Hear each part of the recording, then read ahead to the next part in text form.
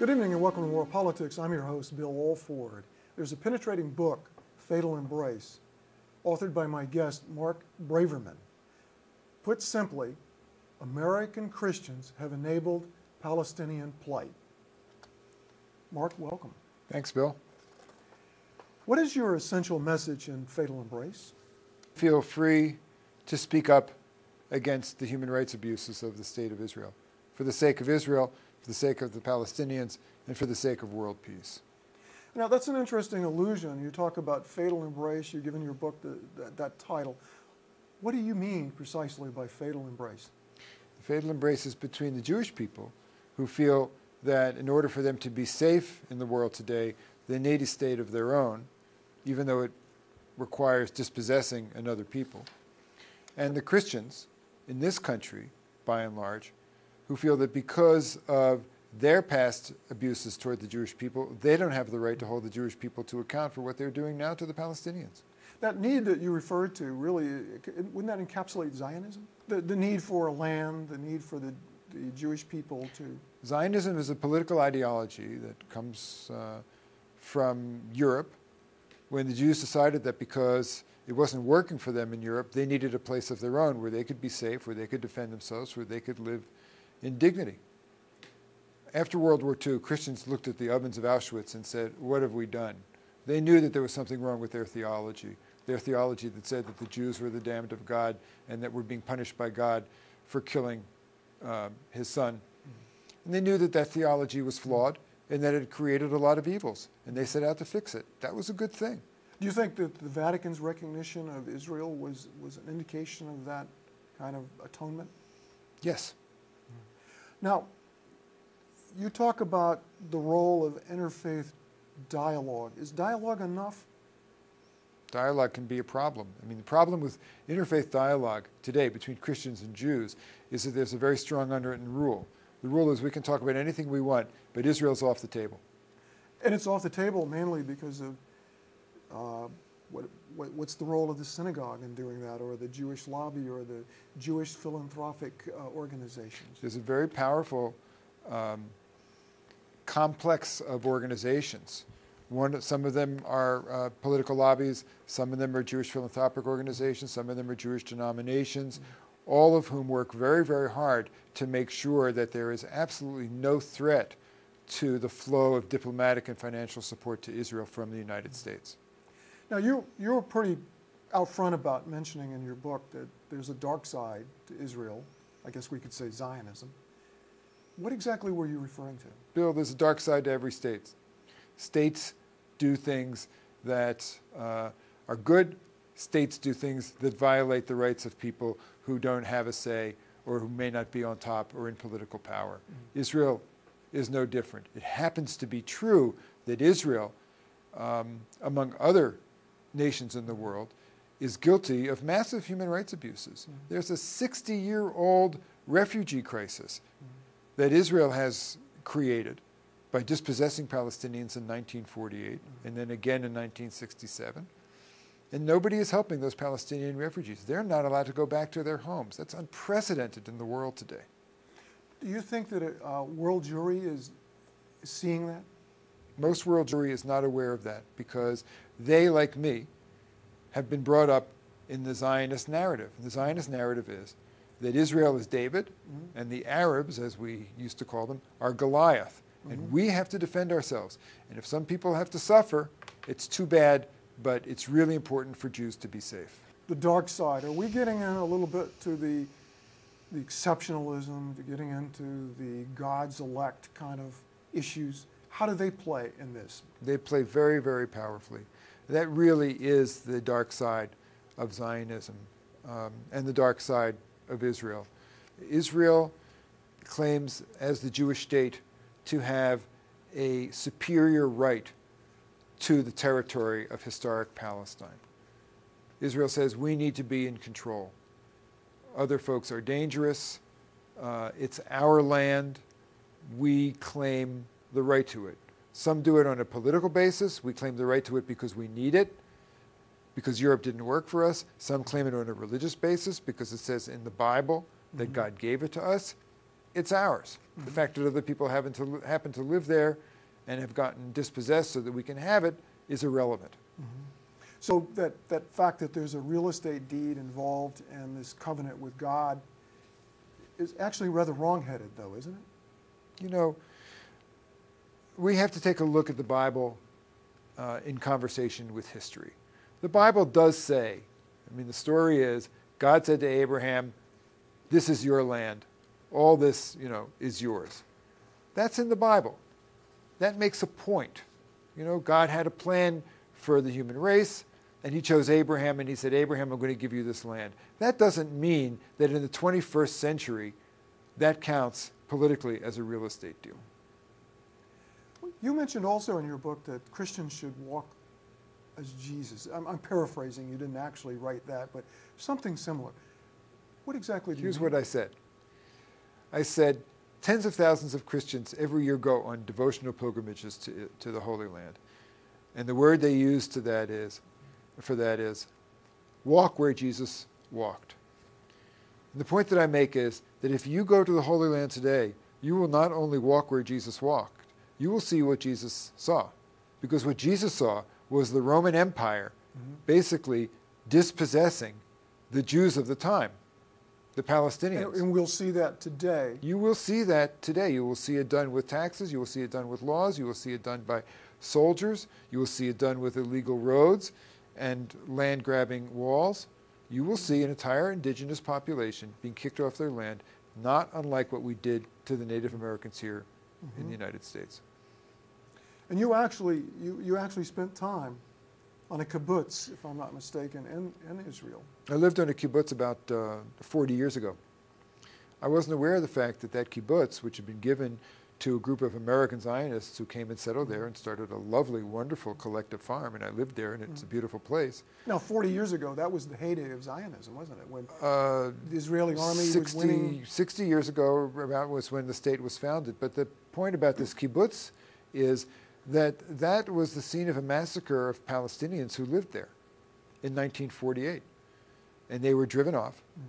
And they are now, their descendants are now living in squalid refugee camps in mm-hmm. Lebanon. I didn't know that when I lived in Israel at the time. Now, neither did these, did these kibbutzniks. They're good people. They weren't aware of the fact that they were living on stolen land. Mm-hmm. Why, why is it that, in a sense, you are really somewhat rare? Not, not completely rare, but you know, I'm sure that you've been called self-hating Jew, and I feel that I'm much more in line with my own Jewish values today than I've ever been before. That's true. and, and this, th- th- this recognition uh, of the massacre when you were at the kibbutz, you think this is what motivated, primarily motivated you to, to take the, the course that you've taken? It was seeing the occupation. It was seeing the systematic humiliation and dispossession of good people being done in my name that set me on this course. Is there any possibility of Palestinians and Israelis living together harmoniously? It's absolutely possible. Palestinians and Israeli Jews could get along just fine.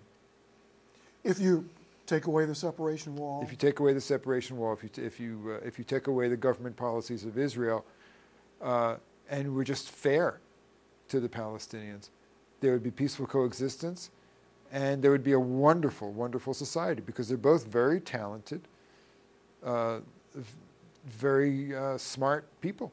well, what, what would that mean for Zionism, though? Wouldn't, wouldn't it mean that it would have to be replaced? Be over, yeah. And that w- It's not a problem for me. It would, you would be back to Judaism or, you know, historical Judaism. Yeah, Judaism would back, be back to being an ethnic identity and for some a religion, which is what it needs to be. You know, before 1948, before the birth of the state, a majority of Jews thought the idea of a Jewish state was a bad idea. Jews should be like everybody else. They should be like Christians. They should be like Muslims. We shouldn't have a state of our own. We, as Americans, we don't like the idea of states and religions being tied together. We don't like Christian states. We don't like the idea of an Islamic state. Why is a Jewish state a good idea? Mm-hmm. And clearly it isn't. Look what's mm-hmm. happening to Israel. It's not sustainable. Mm-hmm. Now, didn't Ilan Pappe write a book on that topic? He wrote a book called The Ethnic Cleansing of Palestine. He's a historian. And what he did was he deconstructed the Zionist narrative. He said, it's not that uh, Israel was created by a small band of heroic Jews fighting off uh, bloodthirsty uh, Arab hordes. 1948 was a systematic project of kicking out an indigenous population to take the land over and make it only available for Jews. Now, I want to go back to your, um, your rearing. We all get our religion from our parents, it seems. I don't know many people, well, there are conversions later in life, but we're all reared in something. You were reared in Judaism, and basically, uh, when, when you were being reared, Zionism was to a large extent Judaism. Does that explain why there are so few people speaking out on this, well, if you think about it, pretty obvious social injustice in the Mideast? It goes very far to explaining a lot of it. Um, I was raised in a religion that was uh, inseparable from uh, political Zionism. I mean, we, we prayed to the state of Israel in our prayers three times a day. Um, you actually we, worshipped the state of Israel. We had an Israeli flag on the pulpit. But do you, do you feel that it was idolatry? I do now. Yeah. I do now. Um, it was, you know, I don't know if I would go so far as calling it idolatry. It was a fantasy. It was, uh, it was a story that was not true. It was a romantic fantasy. Now, Israel, Israel was and is a wonderful place with wonderful people. But we were not told the full story. Mm-hmm. And until you know the full story, you can't really go on as a society. It's been important, for example, for Americans, for American society, to understand, acknowledge um, the ethnic cleansing that, uh, that we did uh, and the sins that we committed against the Native Americans. Mm-hmm. It makes us a better society to be able to look ourselves, look in the mirror and say, yes, we did that. Mm-hmm. Do you think the full story is, is, is today being told? You know, it's just about come out now. The, the truth is really surfacing. What about in synagogues, though? Are we hearing it from rabbis? Uh, by and large, we're not hearing from rabbis. I think the situation of rabbis in this country today is very similar to, say, a, um, a white pastor in Birmingham, Alabama in the early 60s, you know, who, if he got up and talked about integration, uh, would have been out of town on the next bus. Or he certainly would have lost his uh, mandate to be the pastor. That's what I'm saying. He would have lost his job. He might have been run out of town until there was a movement that gained momentum, led by certain courageous people, where it became more and more acceptable mm-hmm. to stand up mm-hmm. and speak the truth. Uh, it was not possible to do that. Mm-hmm. It's not possible for most rabbis to take a courageous stand. Some are starting to do that. Right here in Seattle, there are mm-hmm. rabbis. I'm going to be in dialogue with one um, this evening who are opening up the conversation. And that's what's important, that we start to talk about it because the answers aren't easy. Now, do you feel that there's a schism within Judaism between, uh, well, what a lot of people would just refer to as blind support for the state of Israel, almost the idolatry of Israel, and those, those humanistic, social justice values that so uh, distinguish Judaism from before Zionism? Judaism is a wonderful religion. It's the basis of what's best about us in our Western civilization. And right now, Bill, Zionism is killing the soul of Judaism. You, you wrote about that, that there's some that fear the lost soul of Judaism. And you're saying that it's due to Zionism. Yes. How about the Nakba?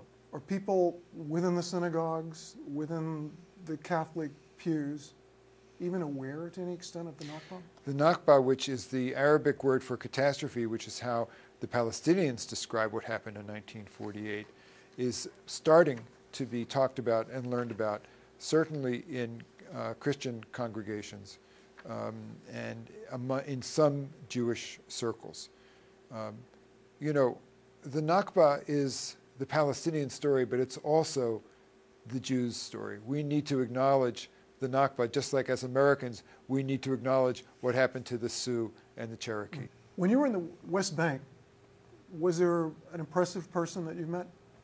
Many, but one story sticks out in my mind. I was meeting with a woman named Lana who uh, works in Ramallah, which is the capital of the West Bank. She's a Palestinian woman. And uh, she commutes every day from Ramallah to Jerusalem, which is only about a, a five uh, mile trip, but it can take uh, a long time for Palestinians if they have to go through checkpoints. And as you drive along this road, uh, you are accompanied the whole time by a 25 foot high concrete wall, which uh, the Israeli government is building to grab huge chunks of Jerusalem, make it part of Israel, and then leave the Palestinians on the other side. So she's driving along this road. She does it every day, and she has her eight year old daughter with her. And one day, out of the blue, her eight year old daughter pipes up and says to her, Mommy, why do they make the Jews live behind that wall? Interesting. It's a wonderful story because that little girl got it. You know, that little girl is being dispossessed, but she's really not the prisoner.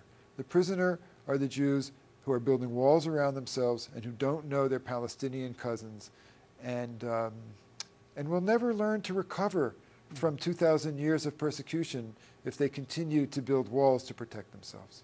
Part because of our story. In a, in, a, in a sense, the kibbutz that suffered the massacre that you stayed at when you went to Israel was part of the Nakba, wasn't it not? Yes, it was.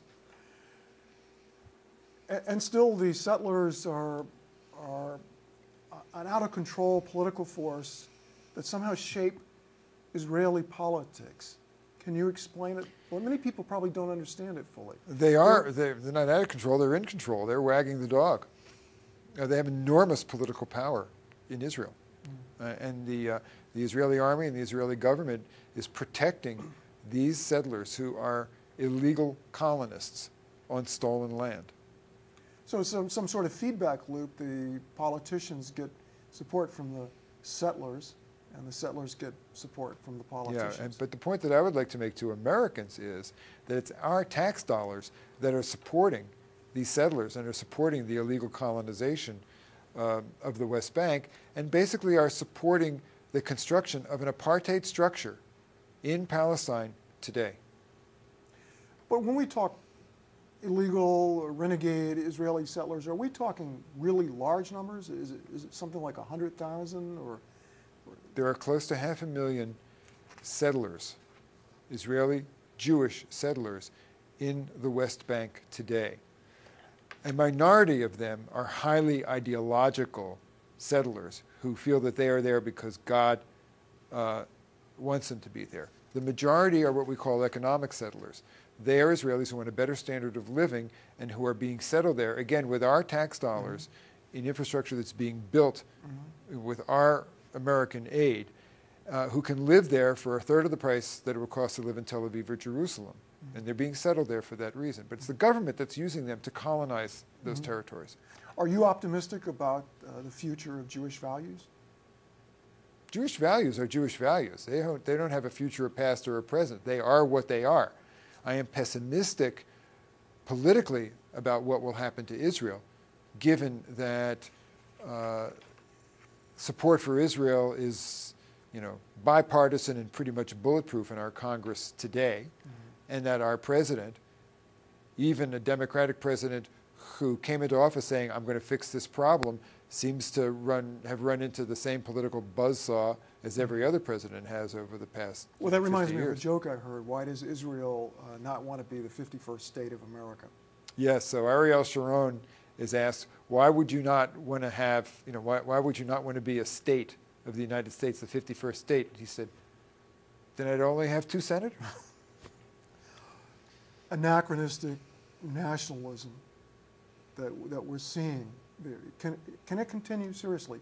Even if the United States does nothing, would it, would it, wouldn't it self-destruct? It's, yes, it will self-destruct. It's not sustainable. How would you, how would you wrap this up for viewers? Let's, let's, the, the, people who are watching that care.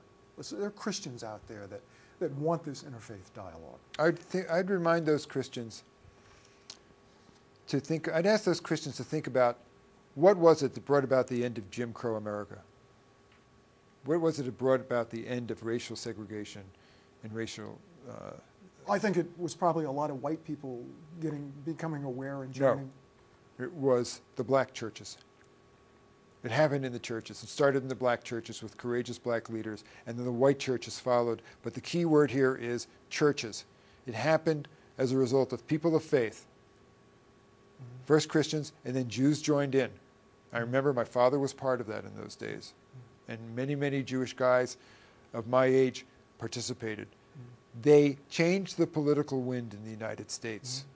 You know what they say about politicians. Politicians, they work like this. Which way is Which, way, is the wind, blowing? Yeah. And when politics fail, great social movements arise to change the wind and make the politicians do the right thing. How did we end apartheid South, uh, uh, South Africa? It was started in the churches in South Africa, and there was a broad international movement of people that made the politicians change those policies. I would remind Christians about that. We are witnessing the growth and the beginning of a broad movement to delegitimize what Israel is doing and save Israel from itself. So, in a, in a way, what you're talking about is the new covenant that American Jewry, especially Israeli Jewry, can form with God. Well put. Yeah. Now, do you give credit to the sanction movement that changed South Africa from apartheid? Yeah, the economic sanctions. I think it's a great idea. It is a tried, true, and legitimate form of nonviolent opposition to oppression. It's moral, it's legitimate, it works. Are you familiar with Abraham Burg's book, The, uh, the Holocaust is Over? Yes. Do you see some application? It's a good book. It's a good book. I mean, he writes basically what Burg says is the, Zionism was the, uh, the scaffolding that we used to build Israel, but now that we have Israel, we should let Zionism go and let it be in the past. Uh, because Zionism really is causing a great sickness in Israeli society. It's making Israeli society militaristic. It's making Israelis think that they're all powerful, and this causes a very sick society. What, is, what is the role that's being played by Kadima and groups like Hillel? Kadima is a wonderful uh, example of uh, what's starting to happen in the American Jewish community today. Mm. Um, it's a group of uh, Jews here in Seattle who feel very, very strongly that uh, there needs to be a conversation about difficult topics that may make Jews feel uncomfortable, uh, but that will, in, the, in, in I think the truest Jewish sense, will make us look at ourselves, question ourselves, and think about what's really the right path, what does really God want us to do.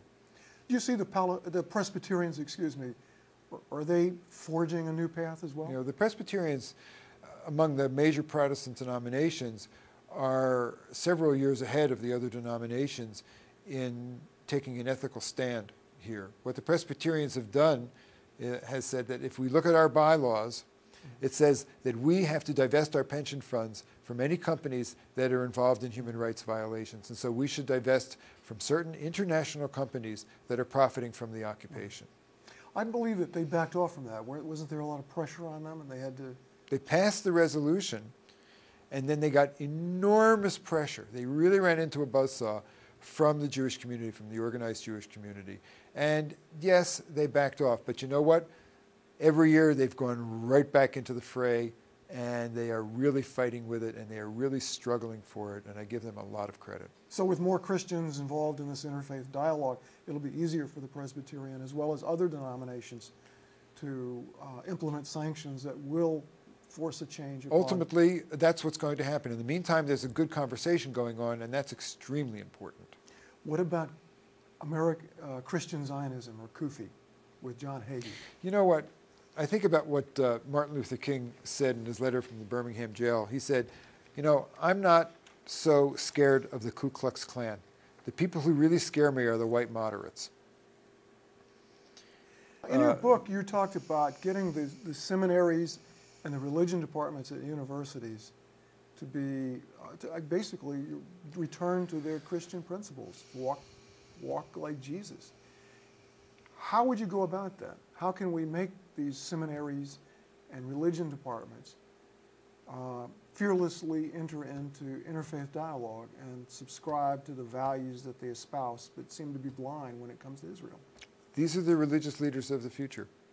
Um, they need to be asking these questions. They need to be exposed to the real facts and not to the um, sort of Zionist whitewash um, that the last three or four generations of uh, pastors uh, and rabbis in training have been exposed to. So I think what happens in the seminaries is critical.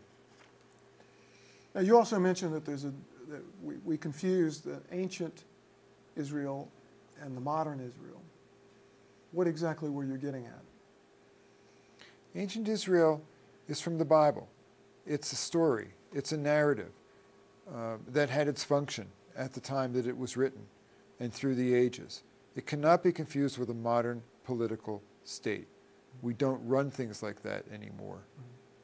The fact that Palestinians have been there for thousands of years, never left, is that part of it? Doesn't it has to be matter. recognized? Doesn't matter how long people have been there. The question is who lives there now, and are their human rights being respected? Doesn't matter if they came yesterday or if they've been there for 3,000 years. We don't operate that way in the 21st century. So you're really not, are you taking a position on one state, two state, or something else solution to that problem? I'm not concerned about one state or two state. My question is what kind of state is it going to be? Uh, you mentioned Jesus, and as a, as a Jew, is that typical? It's not typical. But I see Jesus as a great rabbi and a great prophet. And uh, I think we have a lot to learn from Jesus as someone who was able to speak truth to power.